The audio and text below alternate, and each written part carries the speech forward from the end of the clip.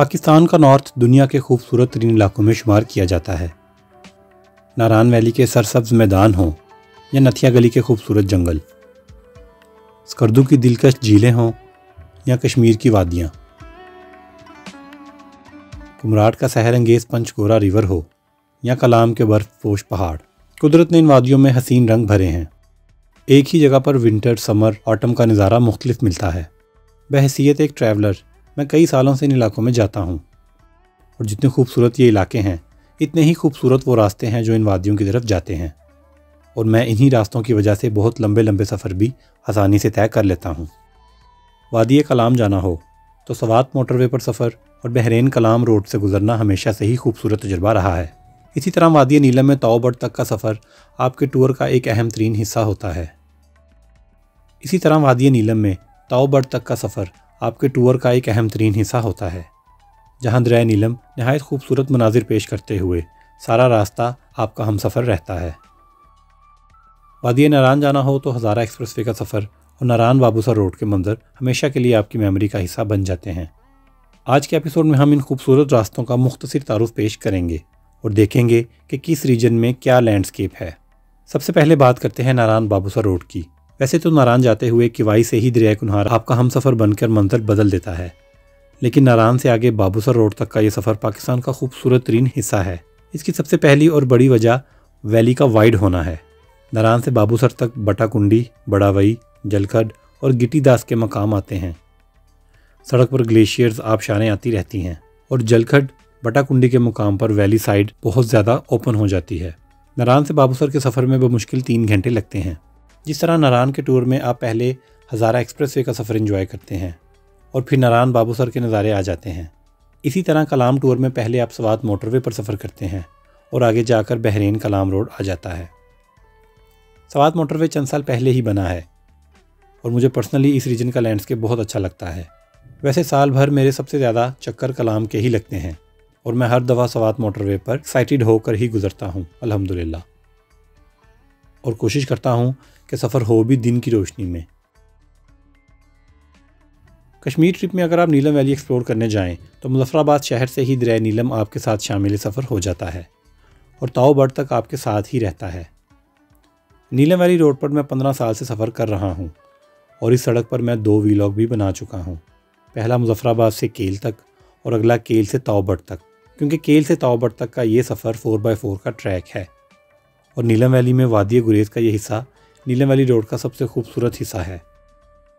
पाकिस्तान में tourism travel सबसे ज़्यादा हज़ारा एक्सप्रेस वे के ज़रिए होता है, क्योंकि नारान के अलावा करदू वस्तौर हंजा जाने वाले अफराद भी इसी सड़क से कराक्रम हाईवे पर आते हैं।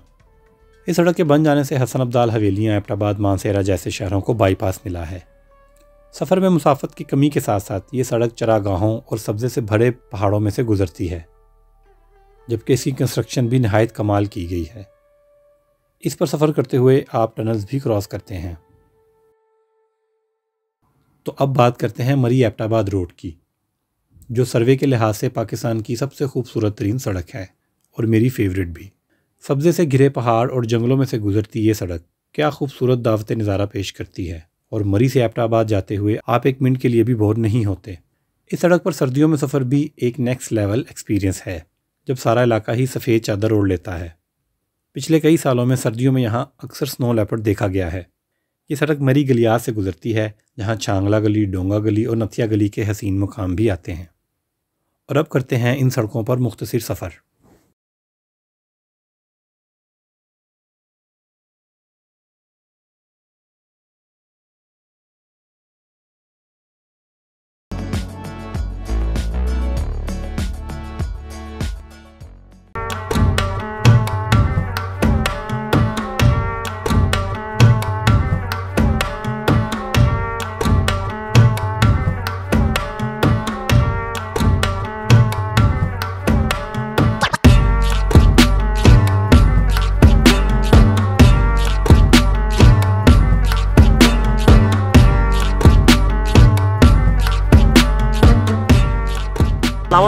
आज के एपिसोड में हम करेंगे रोड ट्रिप और रोड ट्रिप भी पाकिस्तान की सबसे मशहूर सियाती सड़क मरी रोड का। मेरा सफ़र आज शुरू हो रहा है एबटाबाद से। बेसिकली मरी रोड एबटाबाद से शुरू होता है और ये नथिया गली मरी से होता हुआ रावलपिंडी तक जाता है। मेरा आज का सफ़र है नथिया गली तक। एबटाबाद की तरफ़ से जाएँ तो पहले टर्न के फ़ौरन बाद ही ठंडियानी की तरफ़ जाने वाली सड़क का कट आता है। इस मुकाम से ठंडियानी तकरीबन 30 किलोमीटर दूर है। आपको ठंडियानी का मुख्तर सा तारुफ करवा दूँ।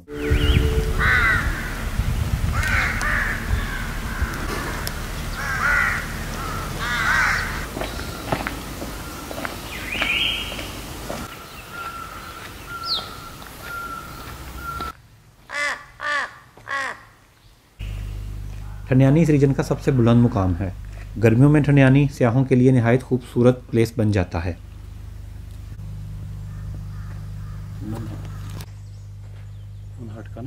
और ठंडियानी टॉप तक जाने वाला रास्ता भी नहायत दिलकश है। ऊपर दिए गए इस लिंक पर क्लिक करके आप ठंडियानी की सारी मालूम ले सकते हैं। लेकिन अभी हम मरी रोड पर सफ़र कर रहे हैं तो चलें वापस चलते हैं।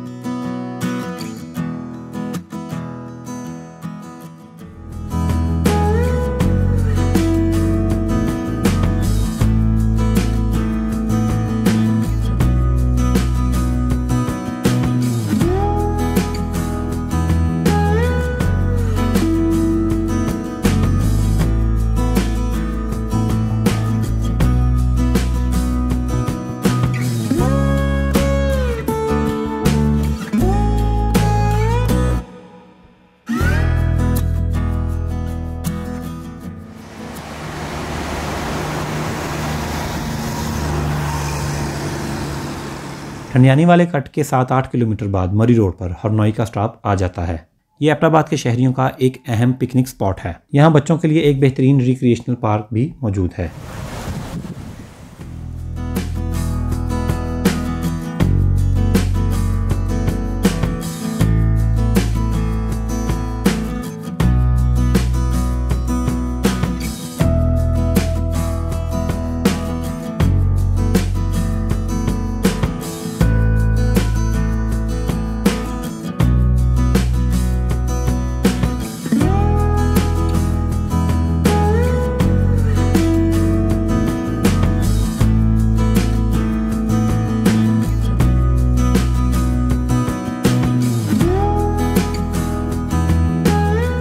हम बगनोतर पहुँच गए हैं। इसका मतलब ये है कि हम नथिया गली का तकरीबन आधा रास्ता तय कर चुके हैं। बगनोतर के बाद वाला रास्ता मज़ीद खूबसूरत हो गया है। सड़क से व्यू पॉइंट मज़ीद खुल गया है और बादलों की मौजूदगी ने इसको चार चाँद लगा दिए हैं।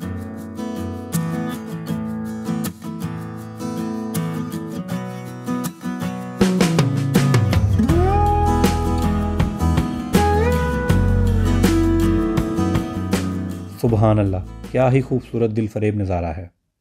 इस सीन की खूबसूरती ये डिमांड करती है कि ड्रोन को फिर खिदमत का मौका दिया जाए।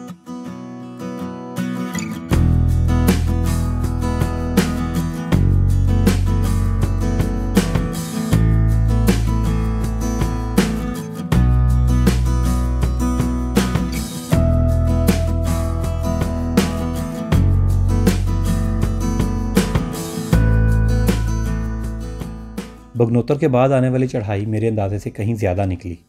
और कुछ मोड़ तो टेक्निकल भी हैं। लिहाजा इस सफ़र पर आने से पहले अपनी गाड़ी की तसली कर लें और ड्राइविंग भी ज़रा कूल होके करें।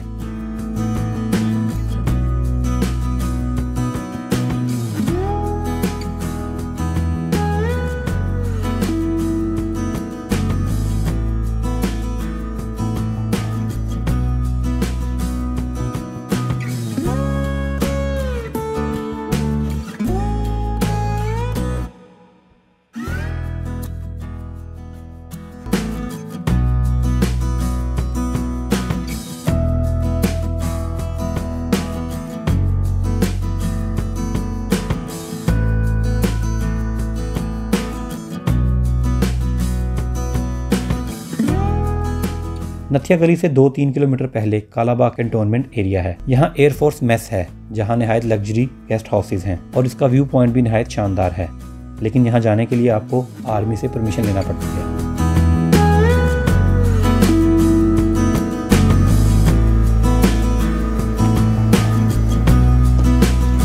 बाड़ा गली क्रॉस की तो उसके बाद जो चढ़ाई है, वो कंपैरेटिवली काफ़ी कम हो गई। बल्कि समझ लें कि ख़त्म ही हो गई। उसके बाद अभी हमने कालाबाग कंटोनमेंट एरिया क्रॉस किया है। नथिया गली यहाँ से दो ढाई किलोमीटर रह गई है। जब आप एप्टाबाद से सफ़र करते हैं तो बगनोतर से आपकी असल चढ़ाई शुरू होती है। बगनोतर से बाड़ा गली तक रहती है, जहाँ पे समुद्र कट्ठा का बोर्ड आया था। वहाँ तक चढ़ाई रहती है और उसके बाद जो सड़क मॉडरेट हो जाती है, ठीक है? तो हमने बीच में गाड़ी को स्टे भी दिया था और यहाँ से आप सीन देख सकते हैं डोंगा गली का और नथिया गली का।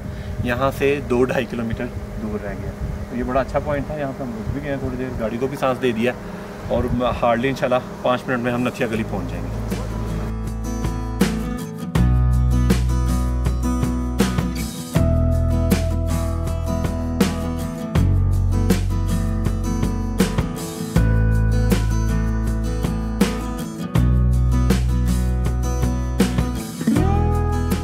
नथिया गली पहुँचने से पहले बादल हमसे पहले पहुँच चुके थे और एक ख्वाबी सा माहौल बन गया था, लेकिन बारिश थोड़ी तेज़ हो चुकी थी।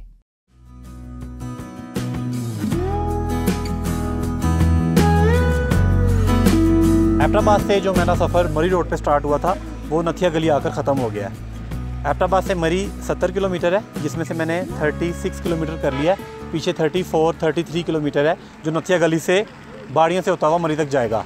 वो इंशाल्लाह ट्रैवल मैं अगले सफ़र में करूँगा। आप इस एपिसोड का मुझे फ़ीडबैक लाजमी दीजिएगा। थैंक यू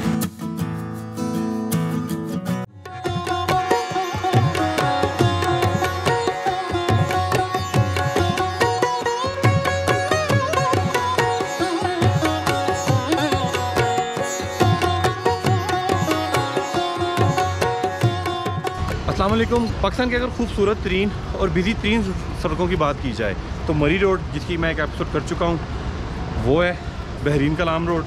उसके ऊपर भी मैंने एक एपिसोड किया हुआ है। और आज जो तीसरा एपिसोड मैं करने जा रहा हूँ, वो है जी नारान बाबूसर रोड। ये सड़क बहुत ही खूबसूरत है और इसका सफ़र तकरीबन सत्तर किलोमीटर बनता है नारान सिटी से।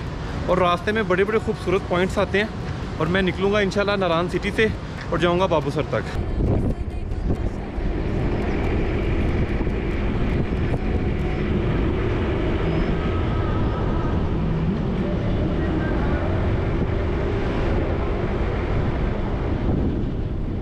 सुबह के दस बजे हैं और नारायण शहर से लोग सैफुल मलूक की तरफ़ या फिर बाबूसा टॉप की तरफ़ सफ़र कर रहे हैं। बहुत से वो लोग भी हैं जो स्कर्दू या हमजा के लिए नारायण में रुके थे। और वो अब बजरिया बाबूसा टॉप चिलास से होते हुए कराक्रम हाईवे की राह लेंगे। नारायण से निकलते ही आपको रिवर राफ्टिंग की टीम्स सामान की सेटिंग करती नज़र आती हैं। पिछले कुछ सालों में रिवर राफ्टिंग भी नारायण ट्रिप का एक अहम हिस्सा बन गई है। रिवर राफ्टिंग ना भी करनी हो तो ये पॉइंट खाली बैठने के लिए भी बेहतरीन है। सड़क माशाल्लाह बेहतरीन बना दी गई है। 2018 में कई जगह लैंडस्लाइडिंग हुई थी, जिसकी वजह से सड़क को काफ़ी जगहों से नुकसान पहुँचा था, लेकिन इसकी बेहतरीन मरम्मत कर दी गई है।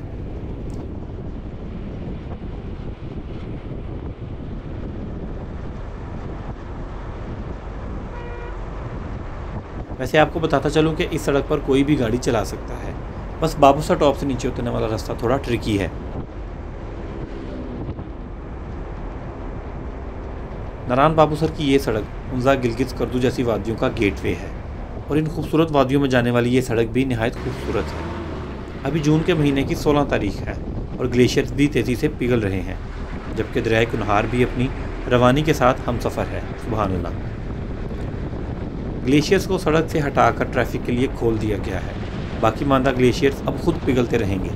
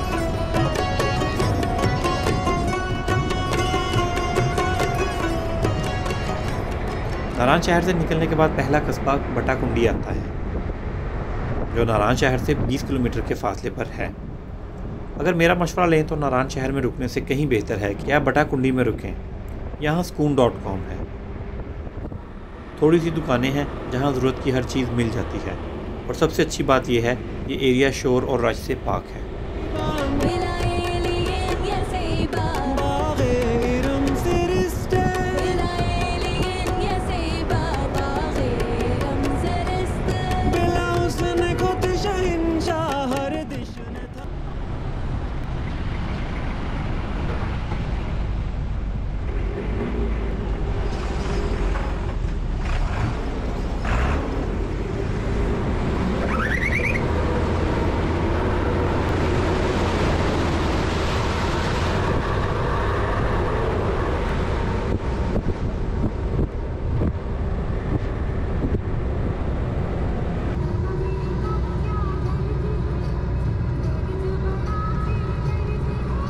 रैक नहार के पानी की आवाज़ मुसलसल आपके साथ रहती है, चाहे वो सड़क से दूर भी हो जाए। और सड़क के तो क्या ही कहने हैं।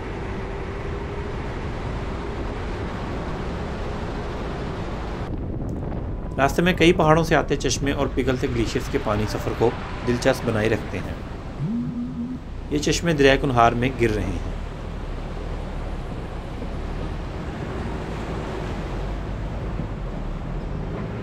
बड़ा वाई का पुल क्रॉस करने के बाद दरिया कुनहार आपके सीधे हाथ बहने लगता है।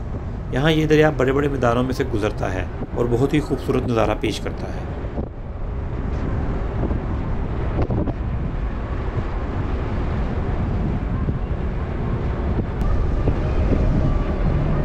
बड़ा से आगे जलखट का मुकाम आता है। यहाँ आकर वादी खुल जाती है। और सड़क से वादी का नज़ारा बहुत ही खूबसूरत लगता है।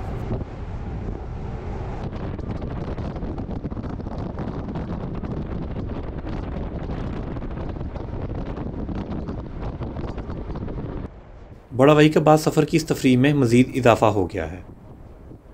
नारायण बाबूसर रोड के इस हिस्से की अक्सर फ़ोटोग्राफ़र्स तस्वीरें भी बनाते हैं।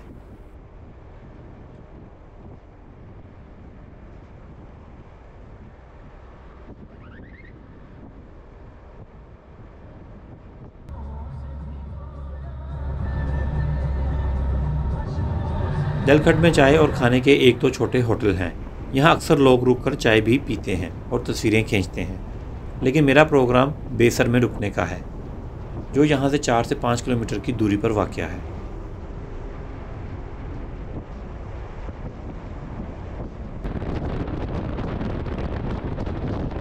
बेसर में नाश्ते का प्लान है, लिहाजा यहाँ ब्रेक ली जाएगी। ये स्टॉप भी इस ट्रिप का एक हिस्सा है।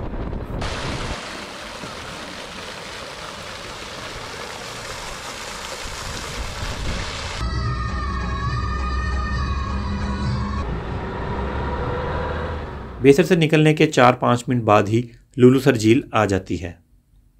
ये झील भी यहाँ से गुजरने वालों का लाजमी स्टॉप है। लुलूसर झील के पानियों का रंग दिल को भा जाने वाला है।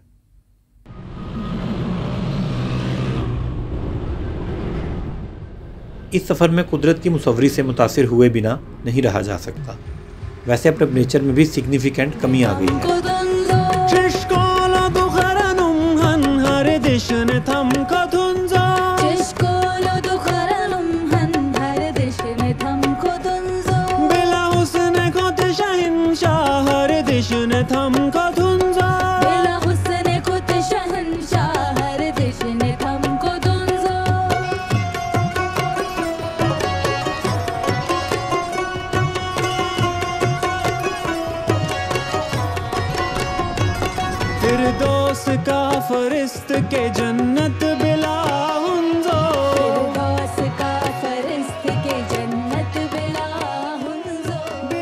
झील के बाद सड़क खुले मैदान में दाखिल हो जाती है और इस इलाके को गिट्टी दास कहा जाता है और यहीं से चढ़ाई शुरू हो जाती है। यहाँ आपको गाड़ी ध्यान से चलाने की ज़रूरत है, क्योंकि सड़क पर ग्लेशियर्स भी पिघल रहे हैं और आप मुसलसल ऊपर की तरफ़ जा रहे हैं। इसलिए गाड़ी को कंट्रोल में रखना नहायत ज़रूरी है।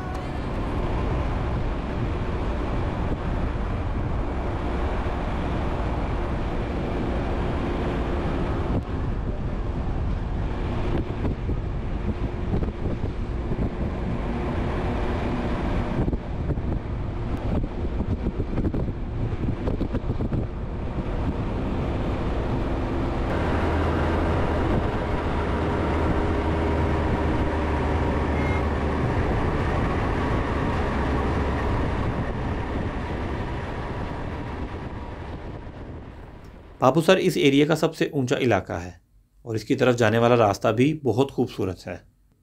पहाड़ों का ऊपरी हिस्सा अभी तक बर्फ़ से ढका हुआ है, जबकि दर्जा हरारत में मुसलसल कमी आती जा रही है। बहुत सारे लोग बाबूसर टॉप से ही वापस आ जाते हैं, जबकि हमजास करजू और गिलगित जाने वाले आगे चले जाते हैं।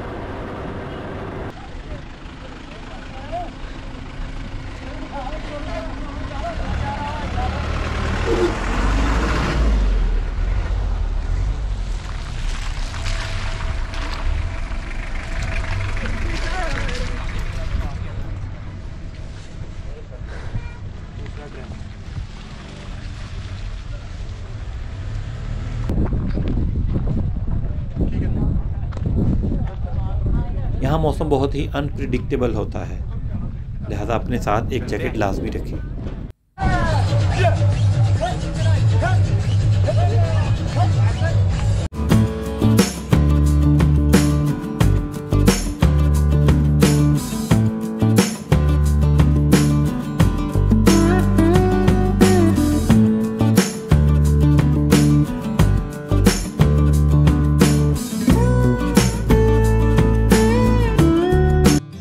इस्लामाबाद पिशावर मोटरवे पर बुरहान इंटरचेंज के करीब से थाकोट तक हज़ारा एक्सप्रेसवे का मंसूबा बनाया गया।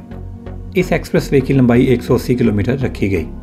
इस मंसूबे के तहत कराक्रम रोड पर सफ़र करने वाले हसन अब्दाल, हरीपुर, हवेलियाँ एबटाबाद मानसेहरा और शिंक्यारी जैसे शहरों को बाईपास कर जाएँगे, जो कि एक बहुत बड़ा फ़ायदा है।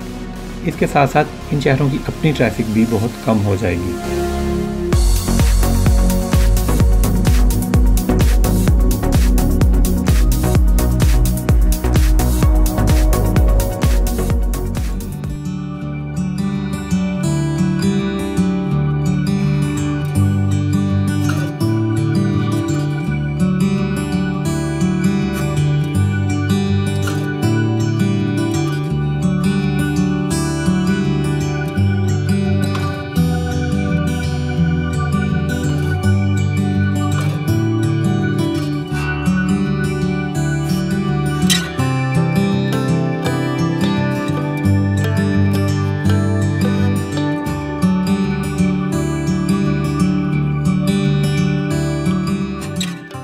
हज़ारा एक्सप्रेस वे पर पहली इंटरचेंज झारी की आती है।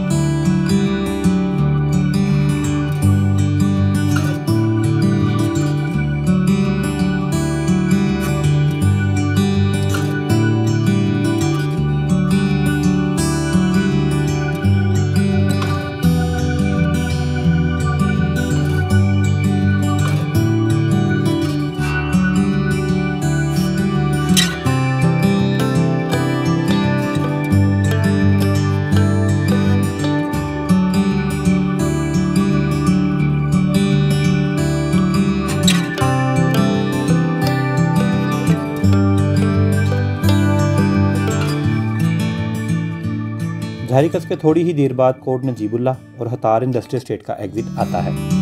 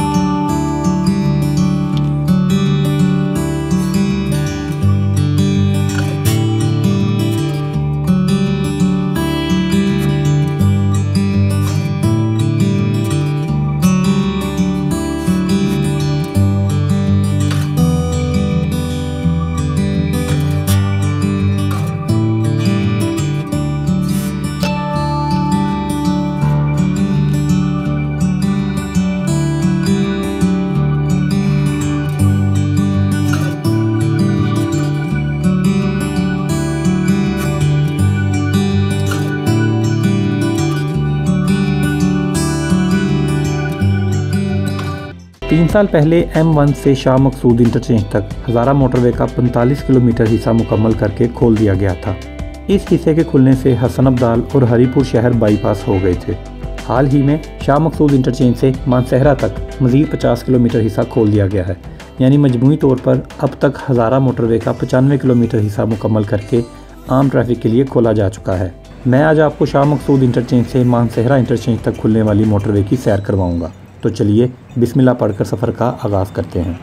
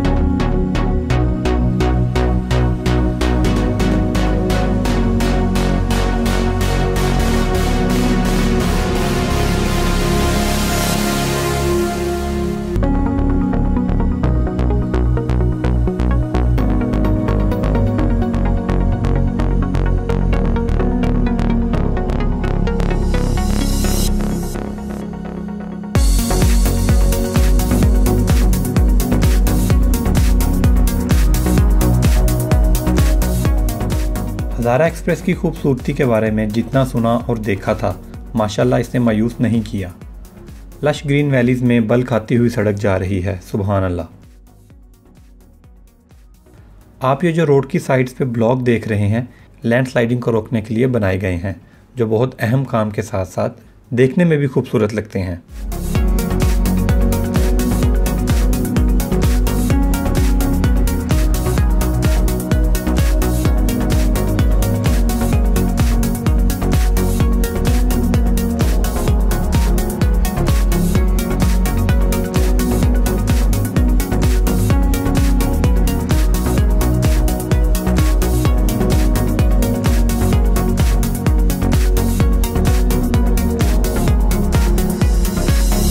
शाह मकसूद से हज़ारा एक्सप्रेस के ज़रिए मानसहरा जाते हुए एपटाबाद के बाद सिर्फ़ एक इंटरचेंज ही रास्ते में आता है, जिसे एपटाबाद मानसहरा इंटरचेंज कहा जाता है और इसका करीबी शहर कलंदराबाद बनता है।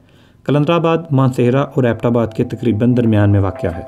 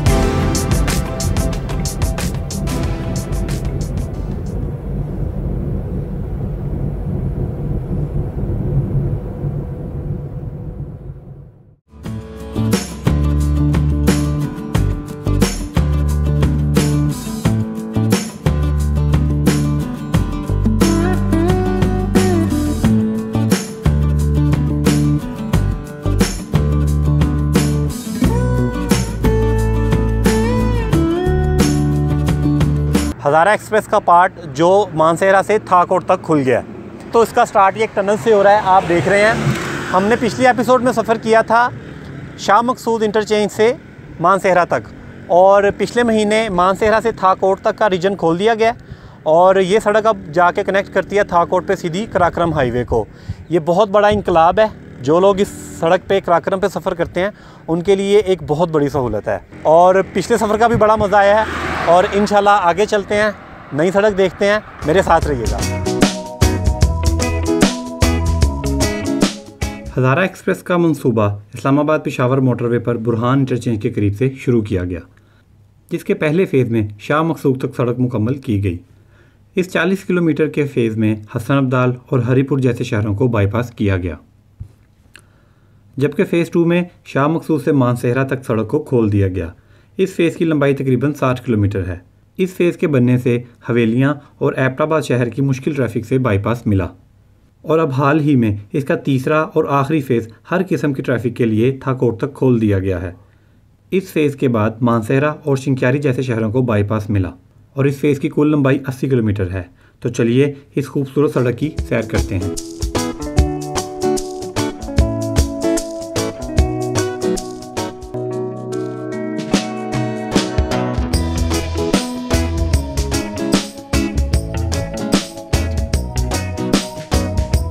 सड़क से आपको छोटे छोटे घर नज़र आते हैं और मुकामी लोग काम काज में मसरूफ़ हैं और इर्द गिर्द की ग्रीनरी आपका मूड बहुत अच्छा रखती है।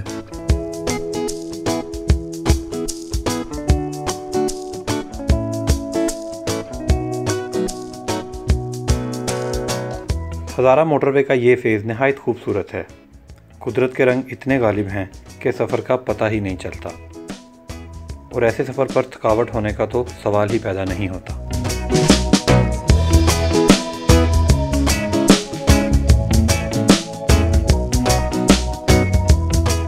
कभी पहाड़ सड़क से दूर चले जाते हैं तो वादी का मंजर महसूस होता है और कभी सड़क के दोनों तरफ़ में आकर सफ़र को मज़ीद खूबसूरत बना देते हैं।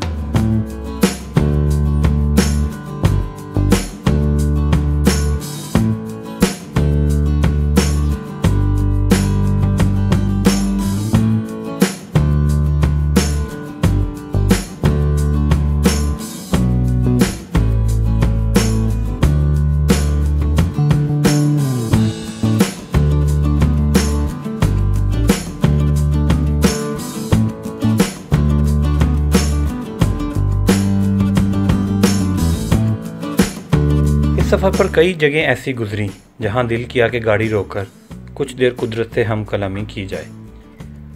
मगर अभी मुझे मगरिब से पहले थाकोट पहुँचना है।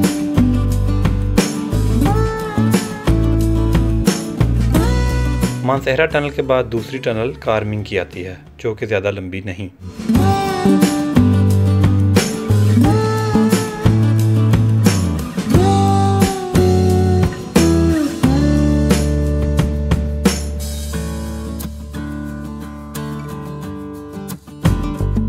जब आप टनल में से गुजरते हैं तो आपको ऐसे लगता है जैसे पीछे से कोई दो शीज़ा आवाज़ दे रही है। एक फ़ीमेल विसल आपको फील होती है, लेकिन वो एयर ब्लोअर होता है। लिहाजा आपने सीधा ही देखना है, इधर उधर नहीं देखना। हज़ारा एक्सप्रेस का मेरा ये सफ़र था कोट पे आके ख़त्म हो गया। अभी मैंने था कोट की टनल क्रॉस की है 615 मीटर लंबी है ये।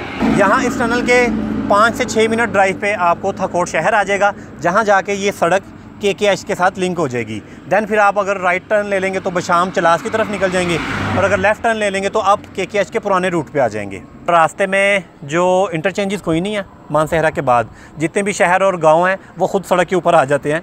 इसलिए इंटरचेंज कोई नहीं है स्पीड ब्रेकर्स भी आते हैं इवन के। और ये सड़क जो है, बारह महीने इंशाल्लाह चलेगी, क्योंकि नारायण बाबूसर जो रोड है, वो चलता है तीन से चार महीने। उसके बाद वो बर्फ़ में कवर रहता है। तो के के एच का अल्टरनेटिव बड़ा अच्छा दे दिया गया है और अब हमारा काम है इस सड़क की एहतियात करें, इसकी हिफाजत करें और ख़ास तौर पे मेरे ट्रक वाले भाई इस सड़क की हिफाजत करें। पाकिस्तान का नॉर्थ दुनिया के खूबसूरत तरीन खितों में से एक है। यहाँ दुनिया के बुलंद तरीन पहाड़, खूबसूरत तरीन झीलें, आबशारें, वादियाँ, टॉप्स, चरागाहें और बड़े ग्लेशियर्स मौजूद हैं। आज हम बात करेंगे इन वादियों को जाने वाली सड़कों के बारे में, जो खुद भी इतनी ही प्यारी हैं जितनी कि वो वादियाँ। इसलिए हर साल आप कई कई घंटे का सफ़र करके इन तक पहुँचते हैं। कुछ दिन पहले मैंने चैनल पर पोलिंग कराई थी, जिसमें मैंने पूछा कि इन चार सड़कों में से आपकी फेवरेट कौन सी है?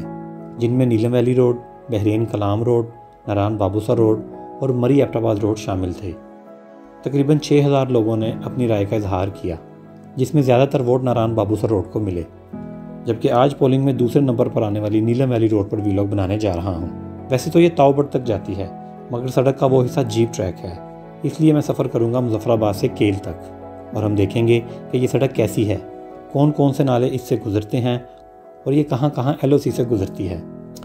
आज सुबह आठ बजे सफ़र शुरू कर रहा हूँ।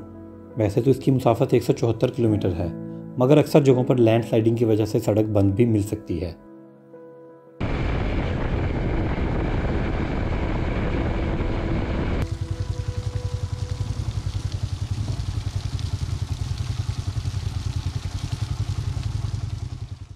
पक्तिया से थोड़ा आगे पंचग्राम का इलाका आता है। यहाँ आपको सड़क पर पंचग्राम वाटरफॉल मिलेगी। आप शॉर्ट स्टे करना चाहें तो यहाँ रुक सकते हैं। पटीका क्रॉस करने के बाद पंजगरा शुरू हो जाता है और पंजगरा से थोड़ा आगे जाके धनी वाटरफॉल आ जाती है। लेकिन आप मेरे पीछे ये जो वाटरफॉल देख रहे हैं, ये धनी वाटरफॉल से बहुत ज़्यादा बेहतर है, क्योंकि इसमें पानी का फ़्लो है और ये हैं भी दो। तो अगर आपने धनी वाटरफॉल पे स्टे करना है तो उससे बेहतर है कि उससे आठ दस किलोमीटर पहले पंजग्राम वाटरफॉल है, सड़क के ऊपर ही। आपको नज़र आ जाती है। तो यहाँ पर स्टे कर लें ये बड़ी अच्छी जगह है। ये चेक करें।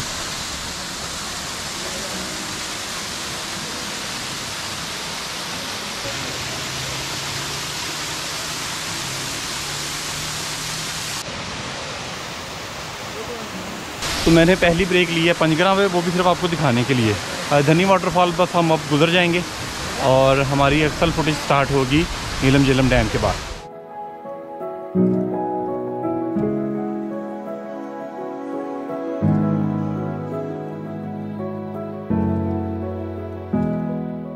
पंजग्रा से केरन जाने के लिए कुछ साल पहले एक नई सड़क तामीर की गई है, जिसे लेफवा बाईपास कहा जाता है।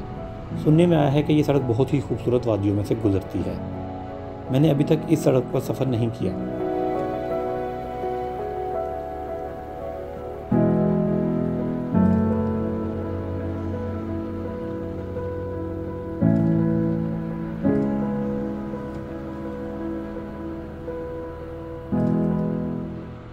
पंजग्रा से तकरीबन 8-9 किलोमीटर बाद धनी वाटरफॉल का स्टे आता है। मगर अब मैं आगे निकलूँगा। धनी वाटरफॉल से थोड़ा आगे जाएँ तो नीलम जेलम डैम का ब्रिज आ जाता है और अब सड़क दरिया के लेफ़्ट साइड पर आ गई है। असल सफ़र अब शुरू हुआ है। जैसा कि मैंने आपको बताया था कि ये सड़क एलओसी के ऊपर से भी गुजरती है।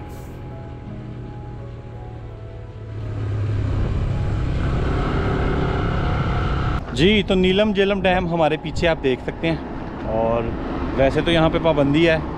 आप यहाँ पे रिकॉर्डिंग नहीं कर सकते। लेकिन यहाँ पे सब लोग सोल्जर्स के साथ खड़े होकर सेल्फियाँ ले रहे हैं पिक्चर्स बना रहे हैं। तो फिर मैं भी कैमरा काट लेता है। तो यहाँ पे आपको पता है जिल इस डैम के बाद आपकी सिर्फ़ यूफोन और एसकॉम चलता है। डैम से पहले जो एक गाँव कस्बा आता है नौसेरी का वहाँ से आप सिम भी ख़रीद सकते हैं। और आगे नीलम वैली तक आपका फिर एसकॉम चलता है। वैसे तो यूफोन भी चलता है लेकिन समटाइम मैंने तो एक दो, दो लोगों से पूछा वो कहते कोई नहीं चलता है।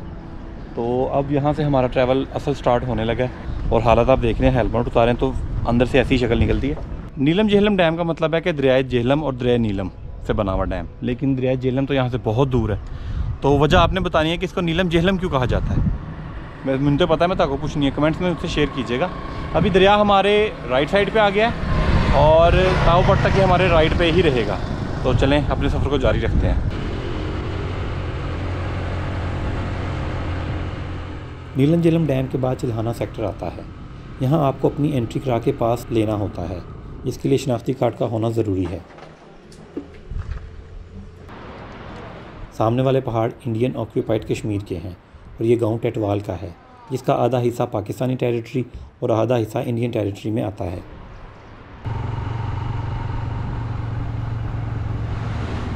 चिल्हाना सेक्टर पर माइलस्टोन पर केल का डिस्टेंस 112 किलोमीटर था। मतलब हम लोग तकरीबन बासठ किलोमीटर सफ़र कर चुके हैं। चिल्हाना सेक्टर के बाद कुंडल चाही तक आप कई दफ़ा लाइन ऑफ़ कंट्रोल पर सफ़र करते हैं। सड़क पर कई जगह फेंस नहीं लगी और ज़रा ध्यान से ड्राइविंग करने की ज़रूरत होती है।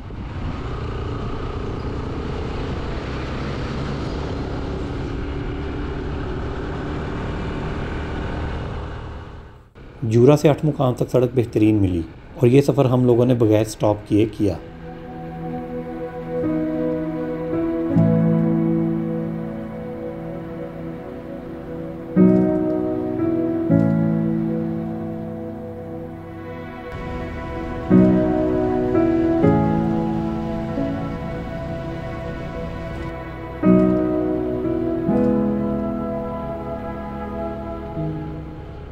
नीलम वैली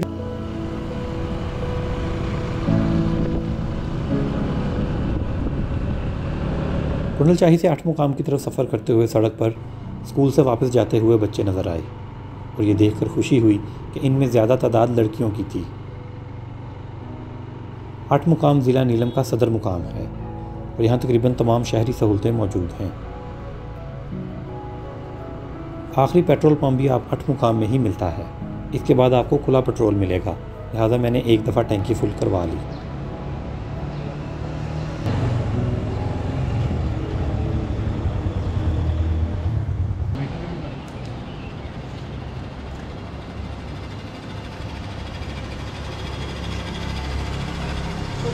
हम लोग आठ मुकाम पहुँच गए। आठ मुकाम ज़िला नीलम का जो है वो मरकज़ी सदर सदर मुकाम कह सकते हैं आप इसे। और यहाँ पे एटीएम भी है और आखिरी पेट्रोल पंप है मेरी इतला के मुताबिक। पिछले साल तक तो आगे केरन में केल में पेट्रोल पंप मुझे नहीं नज़र आया। मे भी हो, लेकिन फॉर द सेफरेंड मैंने यहीं से अपना टैंक फुल करवा लिया क्योंकि मुझे तोबर तक जाना है और फिर वापस भी आना है। तो इसलिए अगर आपने एटीएम वगैरह देखना है, गाड़ी को चेक करवाना है, और जितनी भी आपकी गाड़ी related bike related bank related या हेल्थ रिलेटेड आपकी कोई क्वेरी है, कोई काम करने वाला है तो आप यहीं पे कर लें। और कहा यह जाता है आठ मुकाम के बारे में कि नीलम वैली की जो खूबसूरती है, वो आठ मुकाम के बाद शुरू होती है। अभी वैसे दरिया का पानी जो है, वो गदला हो गया है, क्योंकि बारिशों का मौसम है। अभी लहसा बाईपास पे भी पिछले दो दिन से बारिश थी। आगे दवारियाँ के करीब भी कह रहे हैं बारिश हो रही है। इसलिए नीलम का जो पानी है ना, वो गदला हुआ है। नीलम वैली रोड पाकिस्तान की अहम तरीन सियाती सड़क है। इस सड़क से कई झीलों, वादियों मेडोज़ खूबसूरत गाँव चश्मों और कई आबशारों के रास्ते निकलते हैं। इसके अलावा ये सड़क कई दफ़ा एलओसी के साथ चलती है, जो आपके ट्रैवल में एक अलग ही थ्रिल होता है। टूरिस्ट स्पॉट की बात करें तो Panchgram waterfall Dhani waterfall Kundal Shahi waterfall Chilhana sector Baboon top Patlian lake Keran sector Ratti Gali lake Sharda valley Kel Arangkel Chittakatha और ताओबट तक के मुकाम इसी सड़क पर आते हैं, या इनके ट्रैक इस सड़क से निकलते हैं, जबकि Noori top Kamri top, Burzil pass, माइनारदा valley और अस्तौर की जानब से नीचे की तरफ़ बहने वाले कई खूबसूरत नाले गुजरनाड़ गगई जैसे नाले भी इसी सड़क से गुजरकर दरिया नीलम में गिरते हैं।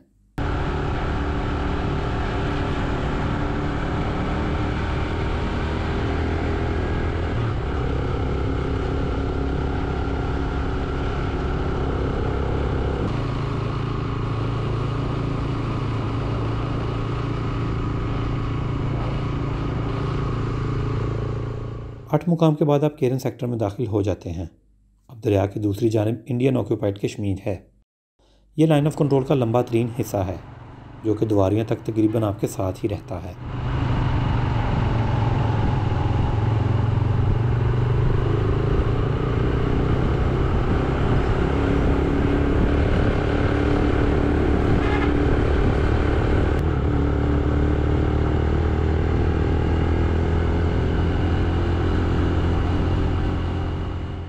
सड़क अभी तक बेहतरीन है, जबकि मंज़र भी खूबसूरत होता जा रहा है। लाइन ऑफ़ कंट्रोल की दूसरी जानब आपको लोग अपनी रूटीन लाइफ में नज़र आते हैं। मुशरफ दौर में सीज़ फायर एग्रीमेंट होने के बाद पाकिस्तानी साइड पर टूरिज़्म में काफ़ी बूस्ट मिला है।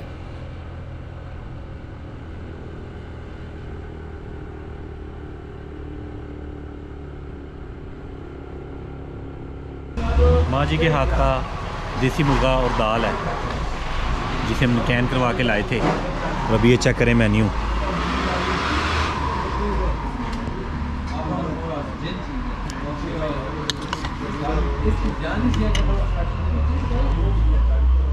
कश्मीर का सफ़र और देसी मुर्गा मिल जाए, वो भी माँ जी के हाथ का। ऐसी खुशखुशी भी क्या हो सकती है? ये सड़क अपर नीलम विलेज जाती है, जहाँ से आई का बेहतरीन नज़ारा देखने को मिलता है।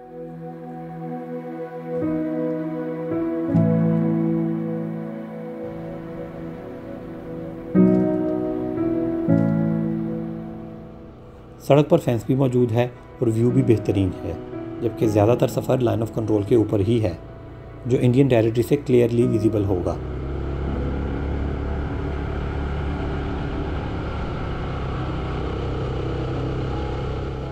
दुआरिया आने से पहले आपको सड़क पर जीपें नज़र आना शुरू हो जाएँगी, क्योंकि वादी कश्मीर की खूबसूरत झील, रत्ती गली का ट्रैक दुआरिया से निकलता है। ये झील आजकल बहुत ही फ़ेमस होती जा रही है। यहाँ जाने तक आपको तीन घंटे का जीप ट्रैक और फिर 45 मिनट का पैदल ट्रैक करना होता है।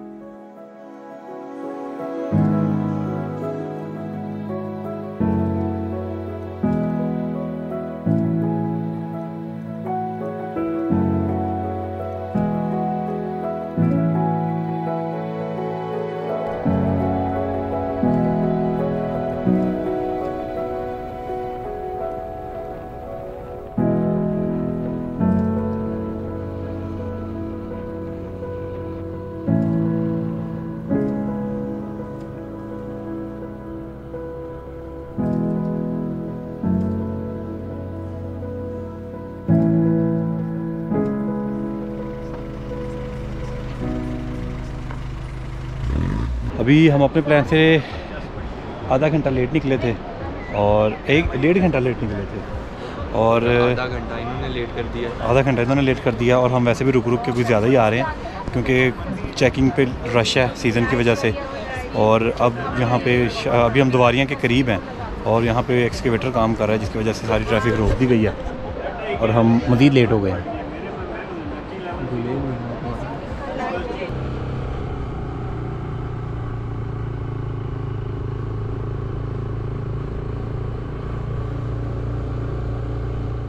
अभी मैं सफ़र कर रहा हूँ किरण से शारदा की तरफ़।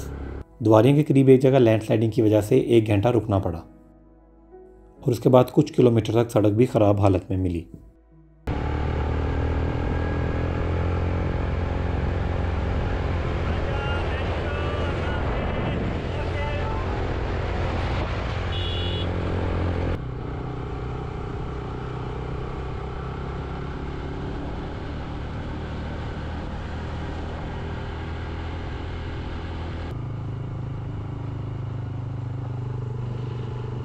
दुआरियाँ के बाद चांगन, दोदनियाल और दोसठ के कस्बे आते हैं।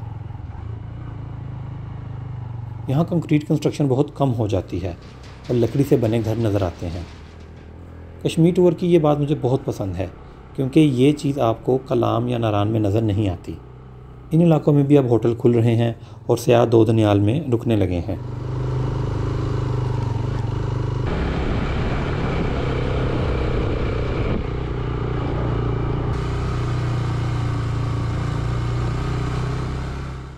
चांगन गुजरने के बाद सड़क का हिस्सा काफ़ी ख़राब हो गया, जो कि आगे चल के शदीद ख़राब हो गया और कहीं कहीं कंस्ट्रक्शन वर्क होता हुआ भी नज़र आया। सड़क जू जू ख़राब होती जा रही है, सफ़र उतना ही स्लो हो रहा है और थकावट भी बढ़ रही है।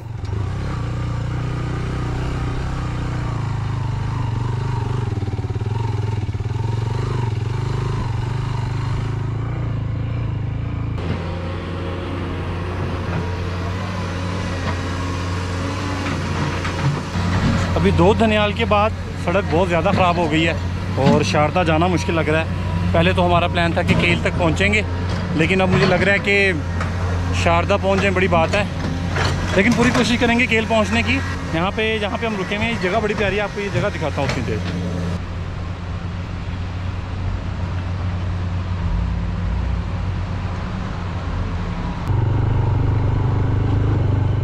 मगर हम लोग जैसे जैसे आगे बढ़ रहे हैं, वैली साइड खूबसूरत होती जा रही है, क्योंकि थोड़ा आगे चलकर गुरेज वैली शुरू हो रही है।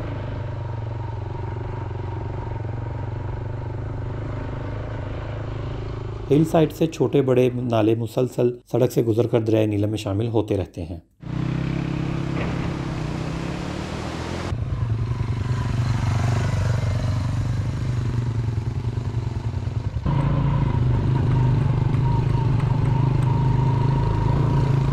कश्मीर की लोकल लाइफ आज भी बहुत सादा है। लकड़ी के बने मकान, पत्थरों की दीवारें और सबसे सादा लोग जो छोटे छोटे थे, जो छोटे छोटे खेतों में काम करते नज़र आते हैं। शारदा पाँच से छः किलोमीटर दूर रह गया है, जबकि सड़क वैसी की वैसी ही ख़राब चल रही है।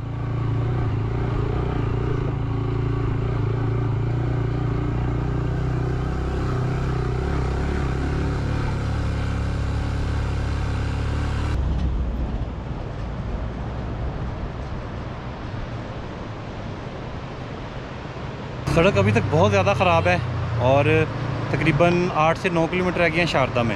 हमारा सफ़र लेकिन अभी भी तकरीबन शारदा से आगे दो घंटे का है तो कोशिश तो यही है कि हम केल पहुँच जाएँ। वैसे सुबह उठ के ये प्लान किया था कि और अंकल चलते हैं तो वो तो सड़क पे आए तो उसने बताया कि ज़्यादा शौकीना बनो शाह केल तक पहुँचो, वो भी मुश्किल ना तो अभी अब बास पीछे रह गया है, उसका वेट कर रहा हूँ और यहाँ पर सीनरी बड़ी प्यारी थी, वो आ गया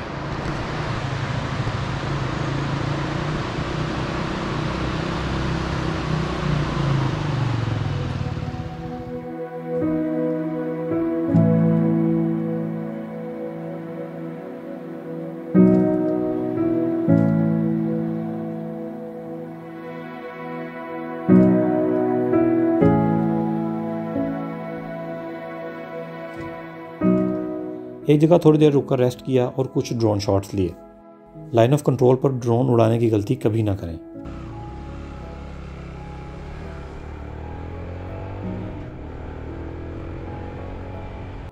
दो दनियाल से लेकर शारदा तक, सड़क कंस्ट्रक्शन वर्क की वजह से आपका सफ़र काफ़ी सुस्त हो जाता है, जबकि सड़क पर मौजूद कीचड़ में गाड़ी फंस भी सकती है।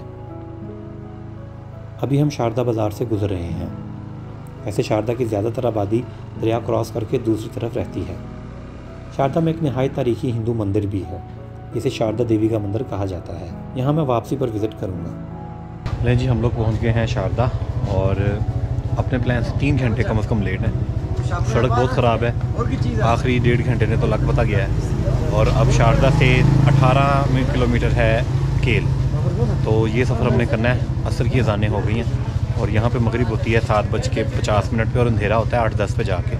तो इन उम्मीद है कि हम अंधेरे होने से, हम अंधेरा होने से पहले केल पहुँच जाएँगे।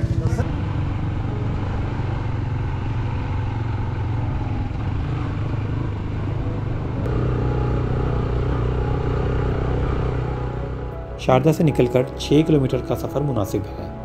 लेकिन जो ही आप केल सेरी का गाँव क्रॉस करते हैं तो जलालत प्रोग्राम शुरू हो जाता है।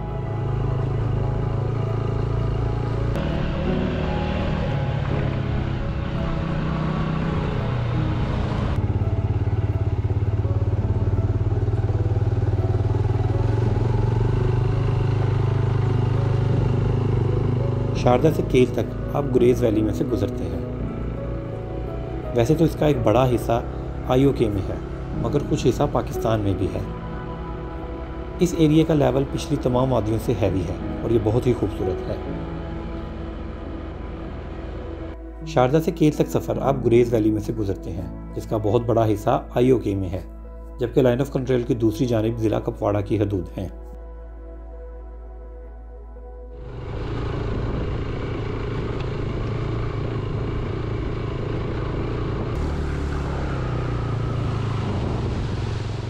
दरिया के दोनों तरफ़ छोटे बड़े चश्मे मुसलसल इसमें शामिल होते रहते हैं, जिनको पार करते हुए मोटरसाइकिल सवार लाजमी गीले हो जाते हैं।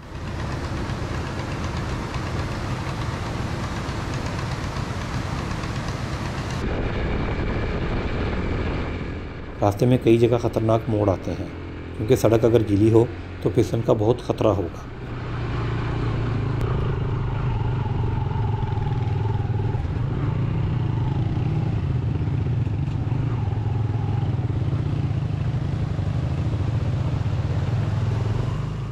सड़क को काफ़ी जगहों से खुला कर दिया गया है, लेकिन अभी इसका कारपेट होना बाकी है।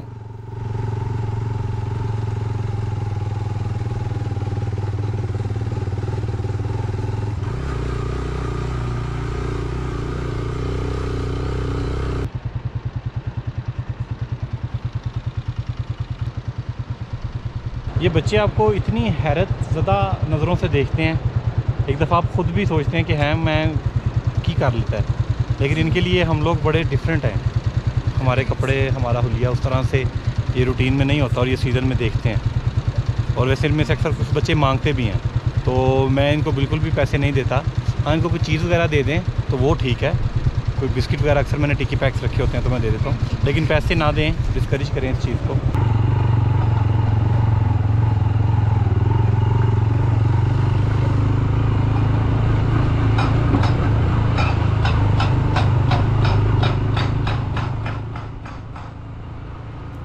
ये मार्गला आबशार है, जो केल से पाँच छः किलोमीटर दूर है। इससे थोड़ा आगे ह्यूमन फेस माउंटेन भी है। बहुत से लोग इस पॉइंट को मिस कर जाते हैं।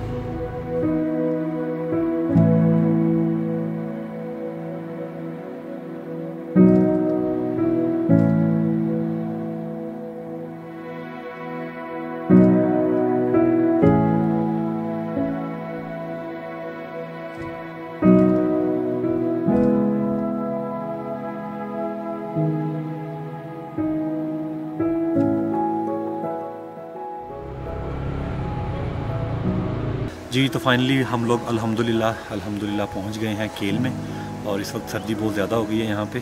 जब आप शारदा से निकलते हैं तो केल सीरी का एक इलाका आता है, उसके बाद से लेके सड़क इतनी ख़राब है, बहुत ज़्यादा ख़राब है और इवन कि डेंजरस भी है। तो हम लोग बाइक पे थे तो हमारे आगे एक ट्रक लग गया, वो कहते हैं ना ट्रक की बत्ती पीछे, उसने हमें लगा दिया और उस पर शेर भी लिखा हुआ था, अजब तरंग में गुजरी है ज़िंदगी अपनी, दिलों पर राज किया, लेकिन सच्चे प्यार को तरसे। तो अशरफ खट्टा मीठा शायर थे, साथ नाम भी लिखा हुआ था ब्रैकेट में, अशरफ खट्टा मीठा। पानी जब इकट्ठा हो जाता तो स्लिपरी बहुत था, मैं एक दफ़ा गिरा भी हूँ बीच में और शॉर्ट बनाते बनाते, वो भी आपसे शेयर करता हूँ, अगर वो रिकॉर्ड हुआ है तो। अभी आप मेरे पीछे देख रहे हैं जी, ये जो घर हैं, इनके पीछे दरिया है, दरिया क्रॉस करेंगे, पिछले पहाड़ जो हैं वो अरंग केल के हैं। हम आज केल में रुकेंगे, अगर आप डायरेक्ट केरन से यहाँ पे आते हैं तो इस जहन बना के आएँ, इसमें काफ़ी एफर्ट है। हम लोग बाइक पे आए हैं बाइक पे तो बहुत ही ज़्यादा एफर्ट है ना मतलब आप समझ लें कि लग बता गया है। अभी कमर के कड़ाके निकल गए हैं और अब आपने ये काम करना है, वो आपको पता है आपने क्या करना है। लिहाजा मेरे चैनल को सब्सक्राइब करें।